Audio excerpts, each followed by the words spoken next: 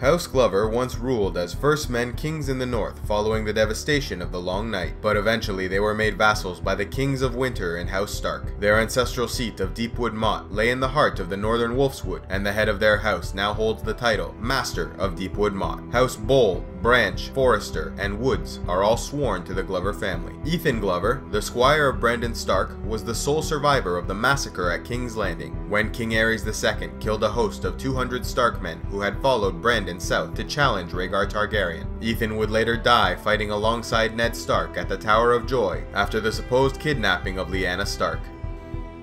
One of the great knightly houses of the Vale, House Templeton rules from their seat at Nine Stars and are sworn to House Arryn of the Eyrie. Their power and influence rivals many lordly houses, as it is said they can raise a thousand men on their own. The head of their house is given the title Knight of the Nine Stars, and there is some indication they may have some Stark blood through Jocelyn Stark, who married Benedict Royce, and had several children, one of which married a Templeton. During the First Blackfyre Rebellion, the Knight of the Nine Star remained loyal to House Targaryen, serving under Lord Donal Arryn and dying in combat against Daemon Blackfyre at the Battle of the Redgrass Field.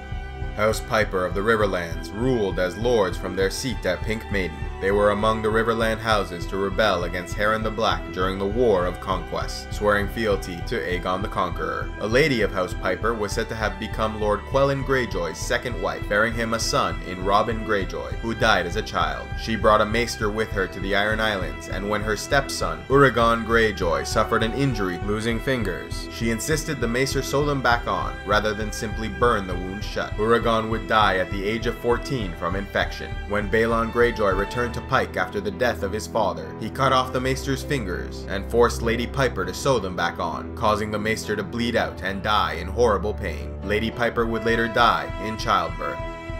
From their seat at Saltcliffe, the Ironborn House of Sunderly rules, sworn to House Greyjoy of Pike. Lord Quellon Greyjoy's first wife was said to have been a lady of House Sunderly, and she bore him five sons, in Balon, Euron, Victarion, Urrigon, and Aeron Greyjoy.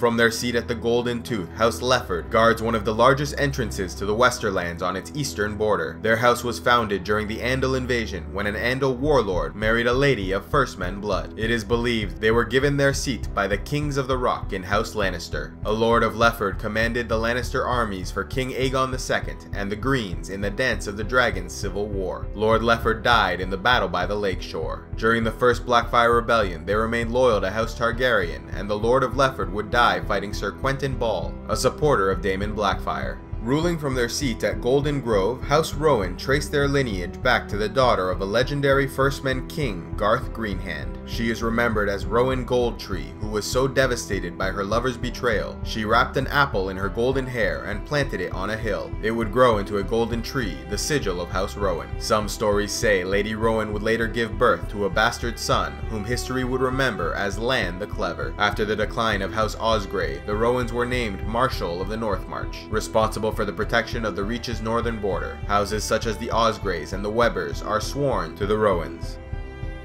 From the Dun Fort in the town of Duskendale, House Rykker rules sworn to King's Landing in the Crown Lands. They rose to power after the fall of House Darklyn, who rebelled against the Targaryens in the defiance of Duskendale, capturing King Aerys II. But after Sir Barristan Selmy rescued the king, House Darklyn was destroyed and their lands and titles given to the Rykkers. It is said a Lord of Rykker once made a joke about Tywin Lannister in his presence, and Tywin stared the man down until he was so uncomfortable he left the room. During Robert's rebellion, Sir Jaremy Rykker remained loyal to King Aerys, and after the betrayal of the Lannisters, was given the choice of death or the wall. He chose the Night's Watch, rising to become a leader amongst the Rangers. From their seat at Rainhouse in the Stormlands, House Wylde ruled as bannerman to House Baratheon. Sir Willem Wylde served as a Kingsguard under King Daeron II and fought for Prince Aerion Targaryen, called the Bright Flame during the Trial of Seven at the tourney of Ashford. They would lose to Sir Duncan the Tall, aided by Baelor Breakspear, son of King Daeron, who would die in the fighting. Though they have proven largely loyal to House Baratheon, Sir Gawen Wylde attempted to escape Storm's End during the siege of Mace Tyrell in Robert's Rebellion. Fearing death from starvation, he had planned to surrender to the Tyrell forces, but was arrested and died in a cell.